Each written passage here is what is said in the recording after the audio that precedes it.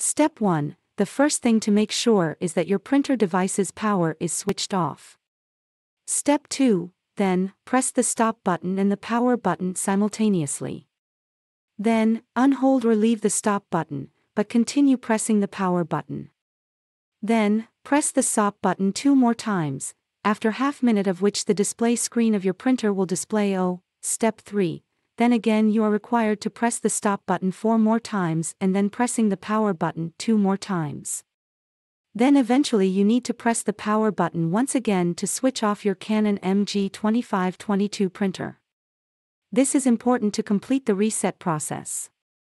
Once this procedure has been followed, you are also required to reset the ink cartridges of your printer.